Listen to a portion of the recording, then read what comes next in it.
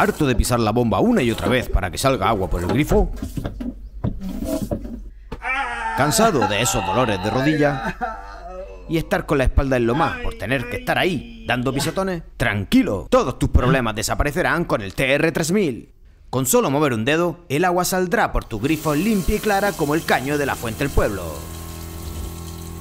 Además, solo en este canal y por tiempo ilimitado, el TR3000 viene equipado con una ducha de popa de regalo. Para que hagas tu sueño realidad y te duchas con quien te salga de los mismísimos... Hola, ¿qué tal navegantes? Soy Tomás Ruiz y bienvenido al canal. En este vídeo vamos a ver cómo instalar una bomba de agua de 12 voltios, con un tanque de expansión, para tener agua corriente en todo el barco, o caravana, o caravana. Además, vamos a instalar una ducha en popa para ganar confort en el barco y que parezca que tenemos pasta. Y todo esto por menos de 100 euros. Así que venga, vamos al lío. Muchos barcos tienen instalado una bomba manual o de pie. Esta bomba al accionarla extrae agua del depósito y la expulsa por el grifo. Dependiendo de la bomba, la cantidad de agua que tira en cada pulsación varía, pero en general es bastante escasa. Estas bombas tienen cosas buenas. Por ejemplo, gastan poca agua, como hay que accionarlas manualmente, consume justo el agua que necesita. Y como sabéis, el agua en los barcos es un bien muy preciado. También tiene la ventaja de que no consumen electricidad. Y ya está. La evolución de este sistema son las bombas eléctricas, que permiten tener agua corriente en el barco. Puede estar saliendo agua por el grifo hasta que se vacíe el depósito que tengamos en nuestra embarcación. Antiguamente estas bombas eran caras, pero hoy en día con la evolución de la tecnología su precio es muy asequible. De hecho, esta vale 28,99 euros. Existen infinidad de bombas en el mercado y nos podemos volver locos viendo cientos de modelos. Por eso hay que tener en cuenta tres cosas. La primera, el consumo de agua. Estos aparatos pueden bombear 2 litros por minuto, 5, 15, 20, 25, etc. A más litros por minuto, más agua sale por el grifo, pero más consumo de la misma. Dependiendo del depósito de agua en nuestro barco, deberemos de poner una u otra. Por ejemplo, en mi caso, el British Tiger tiene un depósito de agua de 60 litros, pequeñito. Así que pondré una bomba de aproximadamente 4 litros por minuto, que como veremos es más que suficiente. La segunda, el consumo de electricidad. Estos aparatos funcionan con 12-24 voltios con las baterías de nuestro barco. Por lo tanto, debemos tener en cuenta el consumo eléctrico. Lo mismo que el agua, las bombas tienen diferentes consumos de corriente. Por ejemplo, un amperio, de 10, de 12, de 15, de 25, etc. Amperio hora. Dependiendo de la capacidad de nuestras baterías, pondremos una u otra. Mi barco tiene una batería de servicios con medida de 110 amperios. Y esta bomba consume de 1,5 a 4 amperios hora. O sea que para mí, perfecto. Tercero, la presión. La presión que tendrán que soportar nuestras tuberías es importante y se mide en bares. Hay otras unidades de medida como PSI, kilopascales y demás, pero la más utilizada es el bar, por ejemplo, en la presión de los neumáticos de los coches. Para hacernos una idea, la presión recomendada en los grifos de casa va de 1 a 5 bar. Por lo tanto, entre 2 y 3 bares, en mi opinión, es la presión adecuada para el barco. La bomba que yo voy a usar tiene 2,4 bar. Vamos a hacer una cosa, en la descripción del vídeo os voy a dejar enlaces a todo lo que vamos a usar hoy. Además de poner el enlace a esta bomba, que es la que voy a instalar, os dejaré un enlace a una bomba más potente que es la que yo pondría si tuviera más capacidad de agua y batería. La bomba es suficiente para tener agua corriente en el barco, pero si queremos hacer una instalación pro, lo suyo es poner un tanque de expansión. Es este cacharro.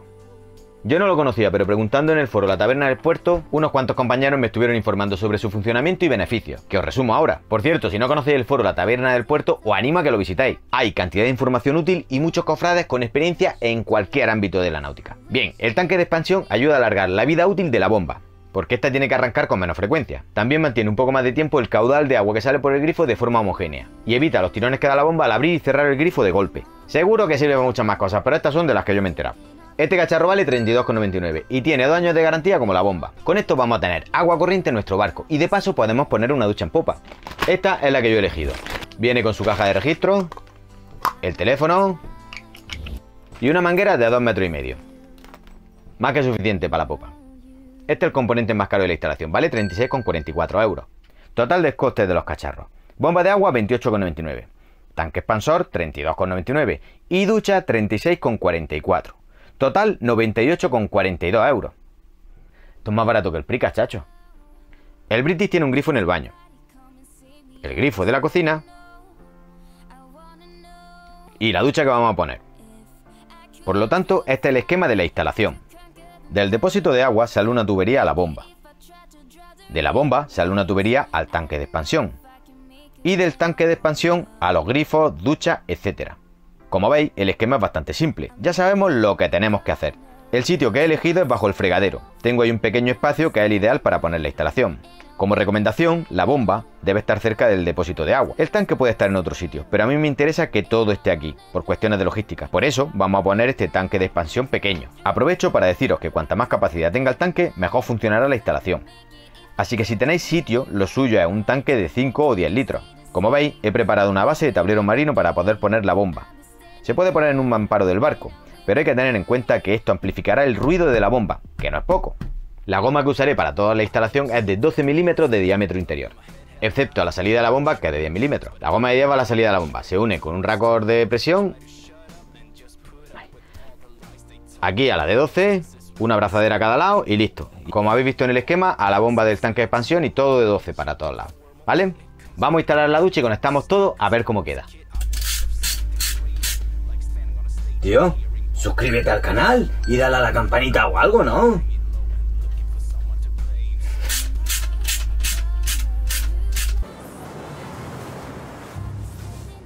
Busco un sitio que sea cómodo para el uso de la ducha, cómodo para su instalación y que no moleste mientras navego. Este es el sitio ideal para el Briti. Ponemos la tapadera a nivel y marcamos. A continuación, hago un agujero con el taladro para meter la caladora y cortar la fibra. Una vez que encaje bien, abrimos los agujeros para atornillar la caja y listo. Traeremos una goma desde el tanque de expansión hasta aquí y conectaremos la ducha.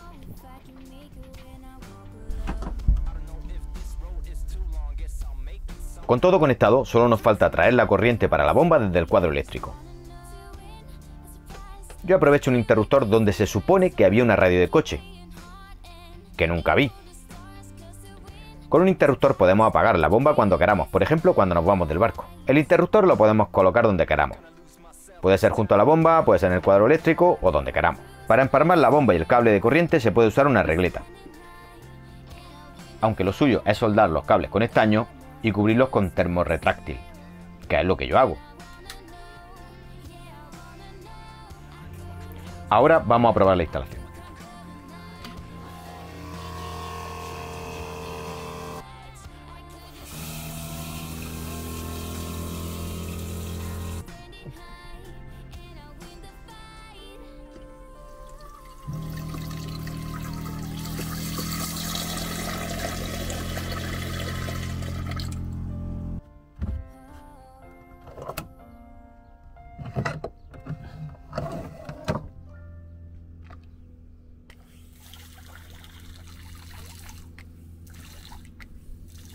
La comodidad a bordo teniendo agua corriente mejora muchísimo. Y como veis no es nada caro.